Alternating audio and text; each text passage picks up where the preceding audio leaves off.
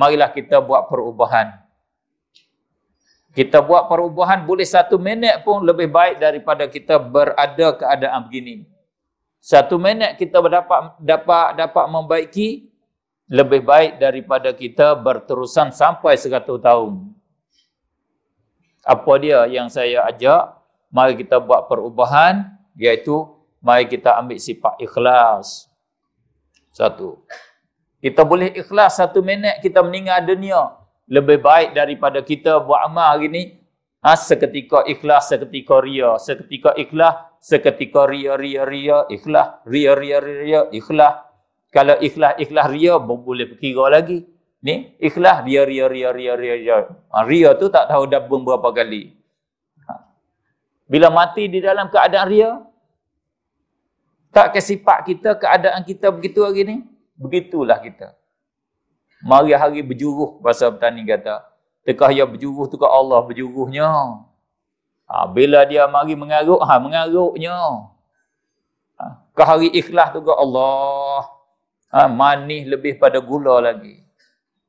Ha, bila dia mari hari dia ria, ha, menunjuk-nunjuk nak nak kepada puji manusia, nak pada pengkat pada manusia. Wal'ayyadzabillah. Mari kita ikhlas. Kita hanya ke semua lillah kerana Allah. Tidak merugikan kita. Apa yang merugikan kita kalau kita membaiki kita kepada ikhlas. Berapa juta, berapa sen hak kita rugi. Saya rasa, saya duk fikir tak ada rugi. Kalau kita ikhlas tak ada rugi pun 10 sen. Misalnya, contoh mudah. Ha, saya mari kat sini, mari nak buat ha, buat buat tazkirah malam ni. Saya mari nak kepada pujian awak saya nak mari nak cari pitih kat masjid ni boleh 4 500 ringgit malam ni. Saya boleh? Kalau masjid ni sedia 500 ringgit saya boleh 500 kalau dia sedia 200 saya boleh 200 kalau dia sedia 100 saya boleh 100 kalau saya ikhlas dia sedia 500, adakah dia nak potong? Bagi 100 jadi, boleh ikhlas sangat lalu. Aku marah sangat dia ikhlas, aku potong boleh 400, bagi 100. Rugi saya 400. Ada begitu? Bertanya pengurusi, dia niat begitu je ke tak? Tak ada, tak ada. Boleh jadi kalau saya ikhlas, dia nampak air, ha, nur yang ada pada saya, boleh jadi dia nak tambah lagi. Allah, aku sedia ke balik, ha, ingat-ingat dia ni. Ha, nak cakap biasa ya. Ha, ni kena dengan hati aku aku nak tambah lagi. Tambah lagi pula malam ni. Ha. dia buka sapu lain tadi dia dia dia tepat dengan tu dah. Tadi dia lagi dia pun masuk sapu lain pula sebentar lagi. Jadi yang dia sedianya 300 dia akan tambah lagi 100 sebentar lagi ha. begitu mana tak merugikan kita kalau kita ikhlas mana merugi kita pahala di sisi Allah memang penuh, full penuh. Oleh itu, kenapa kita tak boleh ikhlas? Ha? Kenapa kita tak boleh ikhlas? Cuba soal. Apa yang merugikan kita? Tidak kerana lain, hanya kerana godaan daripada syaitan. Kerana was-was daripada syaitan. Itulah Allah larang wala tattabi'u khutwatis syaitan. Itu ialah khutwatis syaitan.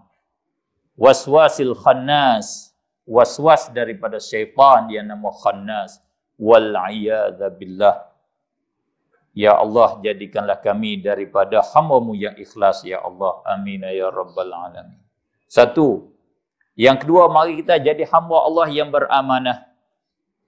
Yang amin. Ha? Hamba Allah yang amin, yang amanah.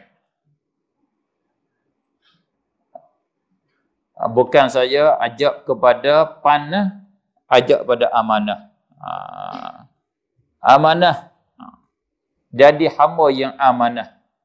Tak boleh duit pitih daripada amanah pun. Tak ada.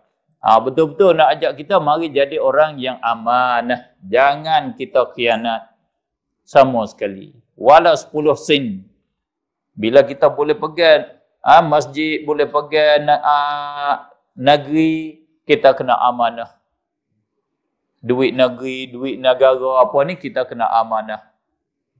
Yang ketiga, marilah kita sifat dengan sidik.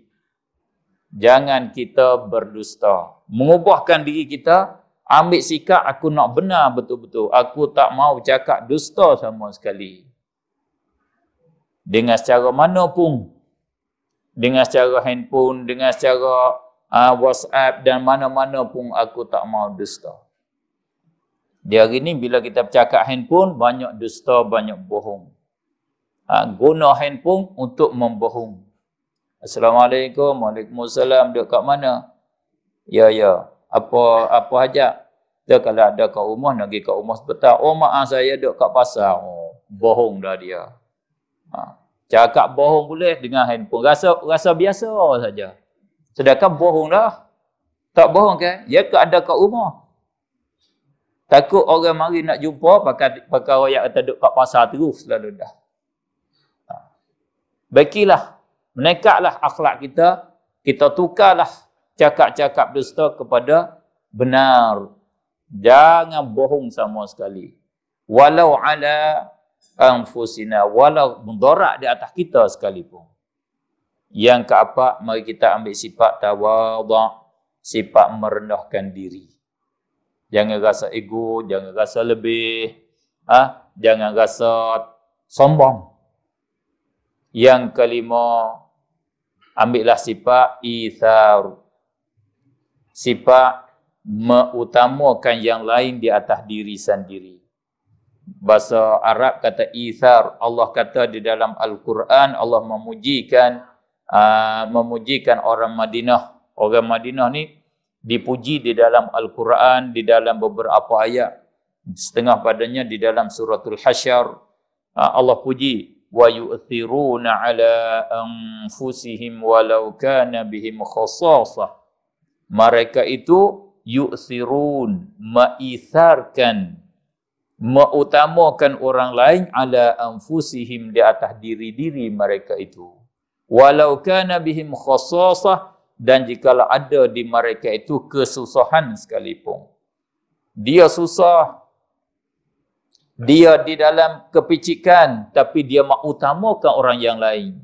Yang lain ha, pasti orang yang lain dapat ketenangan dapat kelebihan biarlah dia di dalam keadaan kesusahan sekalipun itu nama ithar kalau kita boleh berubah begini alhamdulillah dah harap bahawasanya ha, penduduk negara kita ke seluruh rakyat di dalam negara kita boleh berubah ke arah baik, berubah jadi orang Islam yang terbaik insya-Allah taala. Sama-sama kita pakat buat perubahan. Balik buat perubahan dalam rumah kita masing-masing. Ha, demi sikit-sikit kita seluruh negara kita jadi umat yang terbaik, umat yang tercontoh kepada dunia. Kita panggil dunia mari tengok siapa nak tengok Islam, mari tengok di Malaysia. Lagi akan datang insya-Allah taala.